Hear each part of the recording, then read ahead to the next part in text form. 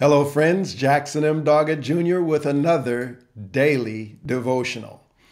Our text today is Proverbs chapter 10 and verse 21. Before we read it in the New Living Translation of the Bible, I remind you subscribe to the channel and hit the bell so you know when we go live. Share it with other people so we can share our daily devotions together.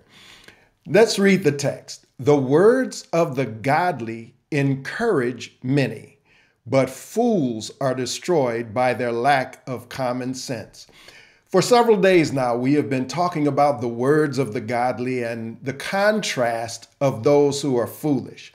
The Bible is saying when a godly person speaks, there's encouragement, there's value, it's uplifting. And that's what we all want to be, especially as I'm doing this particular devotion. COVID 19 is sweeping the globe. People are afraid, people are getting sick, family members are dying, and we need hope.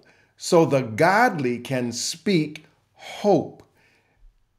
The foolish end up showing they lack common sense. And in this day and time, it's pretty easy to see the difference.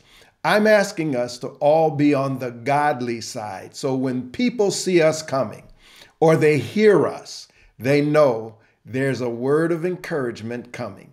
I want to be like that every day. What about you? Let's pray. Lord, give us the words to be instruments of encouragement during these uncertain times. Thank you for helping us to avoid being foolish and lacking common sense. Your spirit can come into us and help us to be that oasis in these times of storm. Thank you for doing that in our behalf and for us. In Jesus' name, amen. Well, friends, let's remember to come back together again for another daily devotional.